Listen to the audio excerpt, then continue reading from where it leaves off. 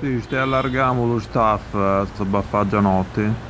E tanto è vero, queste sciamacchiano non parla di produttore. Il primo produttore è uno che ne serve, tu gestisci l'account di Twitter di Faggia Notte.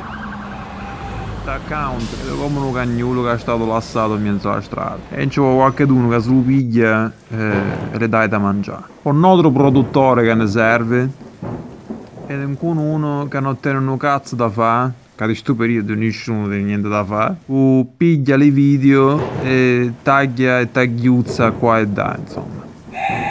Qui ci sono due produttori che ci macchiano, quindi ci tenete amici che pensate che vogliono fare questo tipo di fatica, facetelo sapere. Sciate sopra a Faggianotte, sopra a Facebookini e scrivetene. Ehi, lo voglio fare io il produttore. due requisiti ci vogliono qui ci sono obbligatori. Uno, ad essere una persona apolitica, non deve sapere di quelle puttanate. E due, da essere tendente a essere iconoclastico. Questi due requisiti. E io sono tutto di Matrix 4, che non ci avevo chiamato.